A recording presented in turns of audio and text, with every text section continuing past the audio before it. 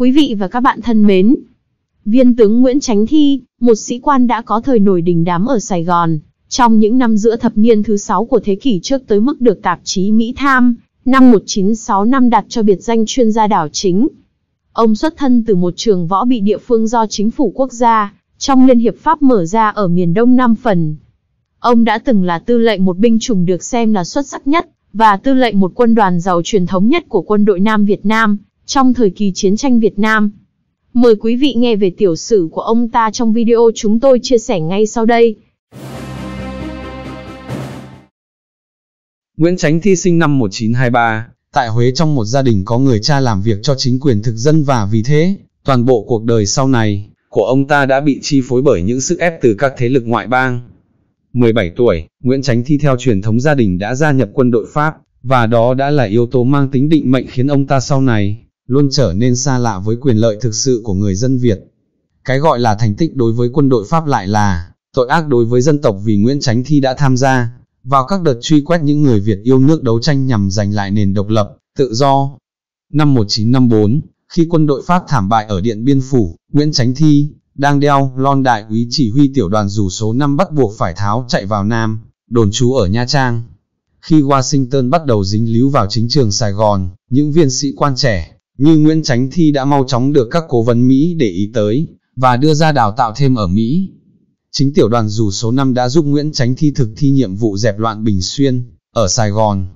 Nhờ thế, Nguyễn Chánh Thi đã được thăng lên hàm thiếu tá rồi trung tá.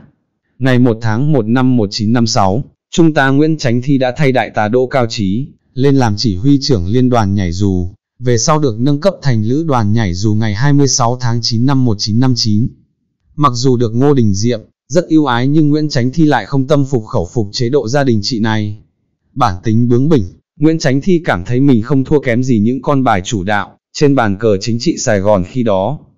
Và ngày 11 tháng 11 năm 1960, viên đại tá Nguyễn Chánh Thi đã cùng một số sĩ quan khác như Trung tá Vương Văn Đông, Thiếu tá Nguyễn Triệu Hồng, nổi dậy làm binh biến.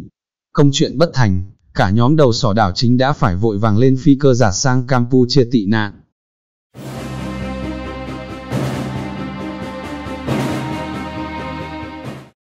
Quý vị và các bạn đừng rời mắt khỏi màn hình, chúng ta sẽ quay lại tiếp nội dung sau ít phút quảng cáo quý vị nhé.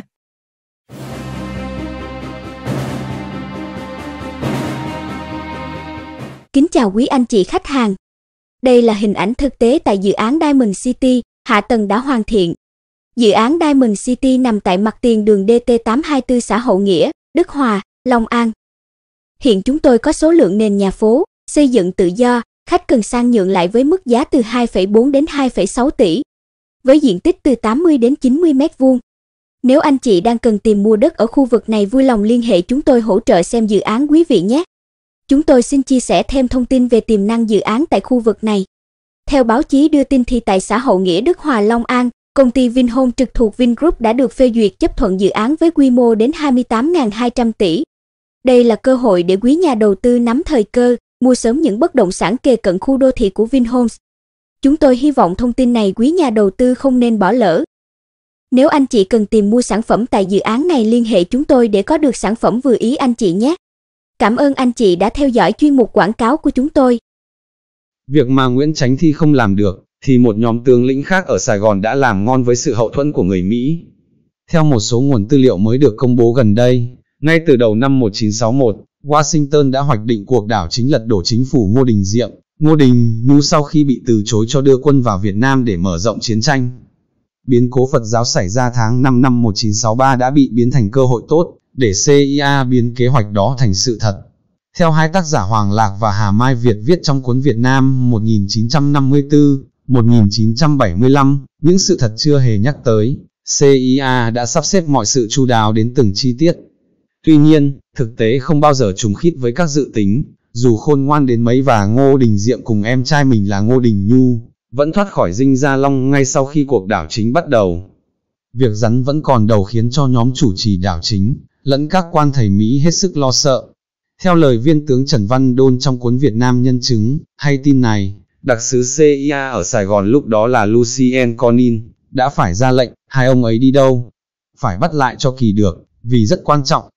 Theo tiết lộ gần đây của viên tướng đang sống ở Mỹ Nguyễn Khánh, khi quyết định sẽ tiến hành đảo chính lật đổ cặp bài trùng Ngô Đình Diệm, Ngô Đình Nhu, đặc sứ CIA đã tới tìm gặp viên tướng Trần Thiện Khiêm, để tham vấn cùng với tướng Nguyễn Khánh, và viên cố vấn Mỹ tại Bộ Tổng Tham mưu Quân đội Sài Gòn, là An Sperrer. Chỉ sau khi bốn người này bàn định xong những việc phải làm, Lucien Conin mới tiếp xúc với tướng Trần Văn Đôn, để yêu cầu ông ta phối hợp với Trần Thiện Khiêm lập kế hoạch đảo chính.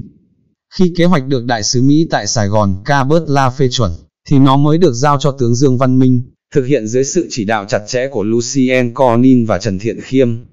Lực lượng chính dùng để đảo chính là sư đoàn 5 của Đại tá Nguyễn Văn Thiệu, ở Biên Hòa. Các tướng Trần Văn Đôn, Mai Hữu Xuân và Tôn Thất Đính chỉ là những kẻ thừa hành. Đại tá Đỗ Mậu chỉ được dùng để làm những việc phát sinh.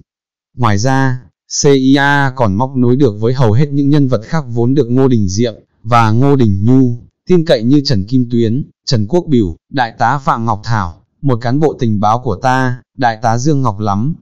Đã có nhiều trang sách và bài báo viết về diễn biến cuộc đảo chính đẫm máu năm 1963 đó.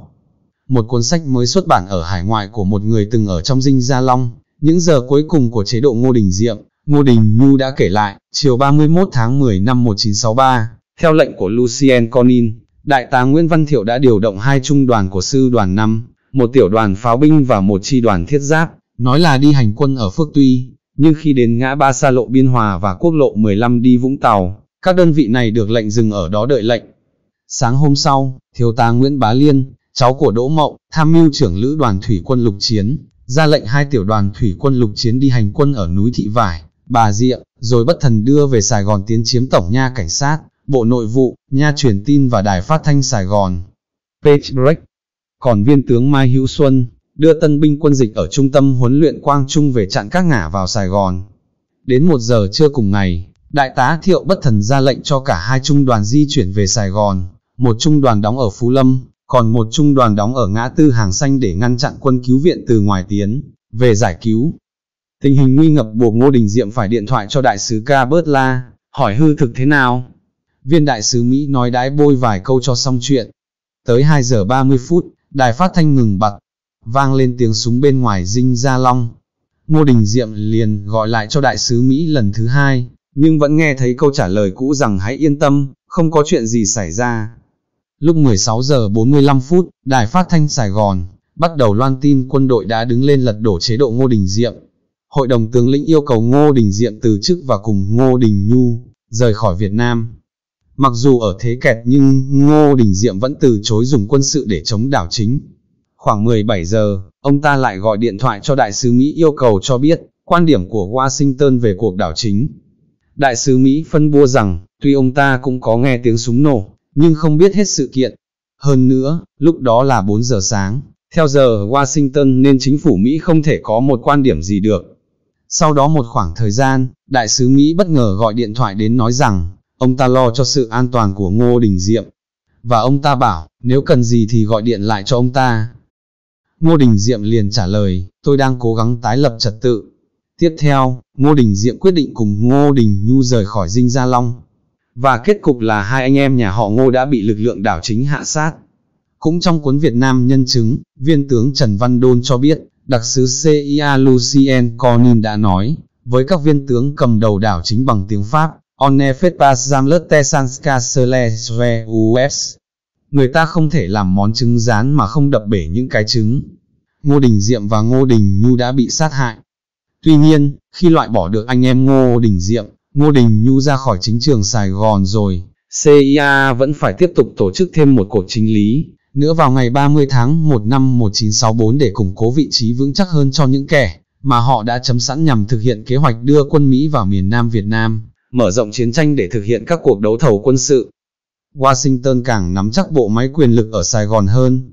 Trên thực tế, như chính tài liệu ở bên kia đại dương cũng phải công nhận người Mỹ, vì các mục tiêu thực tế, đã cai quản đất nước, các tướng lĩnh Nam Việt Nam cười trước các máy quay phim, nhưng lo lắng và chờ đợi tiền và chỉ thị từ Washington, thủ đô mới của miền Nam Việt Nam theo sách President Kennedy, Profile Power của tác giả Richard Reeves.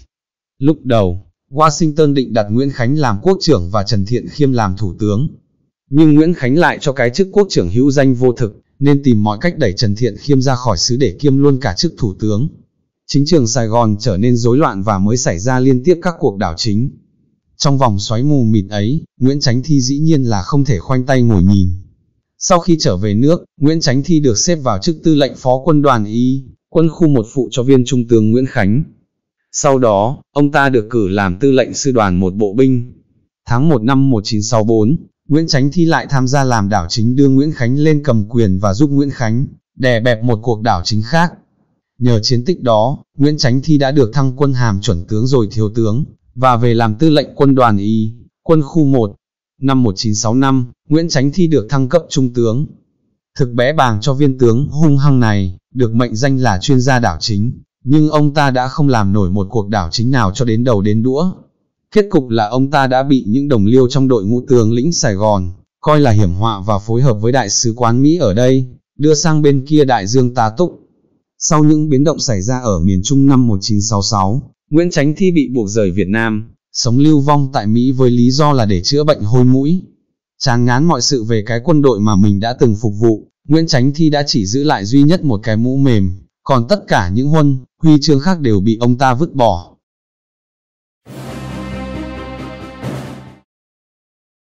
Tại Mỹ, lúc đầu Nguyễn tránh Thi đã được nhận trợ cấp 1 tháng 600 USD dành cho một viên tướng ba sao cũ của chế độ Sài Gòn. Về sau, do chỉ trích các viên tướng cầm quyền ở Sài Gòn, nên Nguyễn tránh Thi đã chỉ được nhận 170 USD một tháng. cùng kế sinh nhai, ông ta đành phải mở một quán cà phê. Tháng 2 năm 1972, Nguyễn Chánh Thi đã liều mạng về lại Sài Gòn nhưng những đối thủ cũ của ông ta đã cho máy bay quân sự lên bao vây chiếc máy bay đang chở ông ta, cương quyết không cho hạ cánh. Từ đó Nguyễn Chánh Thi đành bỏ mộng lần thứ hai tái ngộ cố hương. Tại Mỹ, Nguyễn Chánh Thi đã viết tập hồi ức thực hư lẫn lộn một trời tâm sự, với những đau đớn của một kiếp phù du, lắm tham vọng nhưng cuối cùng tay trắng vẫn hoàn không. Giai đoạn cuối đời, Nguyễn Chánh Thi cố gắng sống lặng lẽ, không để cho mình bị những thế lực cực đoan kích động chống lại Tổ quốc. Cảm ơn quý vị đã xem video. Nếu thấy hay đừng quên để lại một like và nhấn đăng ký kênh, bật chuông thông báo để nhận video mới mà chúng tôi đăng tải kỳ tới quý vị nhé. Kính chào quý anh chị. Khi các anh chị xem video, thấy có banner chạy chữ dưới mỗi video. Nếu anh chị cần đặt quảng cáo sản phẩm, thương hiệu bất kỳ ngành nghề gì trên video như vậy, hãy liên hệ số hotline trên màn hình của chúng tôi để đăng ký đặt quảng cáo anh chị nhé. Cảm ơn anh chị đã tin tưởng sử dụng dịch vụ chúng tôi cung cấp.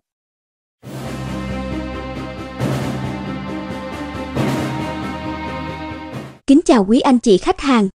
Đây là hình ảnh thực tế tại dự án Diamond City, hạ tầng đã hoàn thiện. Dự án Diamond City nằm tại mặt tiền đường DT824 xã Hậu Nghĩa, Đức Hòa, Long An. Hiện chúng tôi có số lượng nền nhà phố, xây dựng tự do, khách cần sang nhượng lại với mức giá từ 2,4 đến 2,6 tỷ với diện tích từ 80 đến 90 mét vuông. Nếu anh chị đang cần tìm mua đất ở khu vực này vui lòng liên hệ chúng tôi hỗ trợ xem dự án quý vị nhé. Chúng tôi xin chia sẻ thêm thông tin về tiềm năng dự án tại khu vực này. Theo báo chí đưa tin thì tại xã Hậu Nghĩa Đức Hòa Long An, công ty Vinhome trực thuộc Vingroup đã được phê duyệt chấp thuận dự án với quy mô đến 28.200 tỷ. Đây là cơ hội để quý nhà đầu tư nắm thời cơ, mua sớm những bất động sản kề cận khu đô thị của Vinhomes. Chúng tôi hy vọng thông tin này quý nhà đầu tư không nên bỏ lỡ.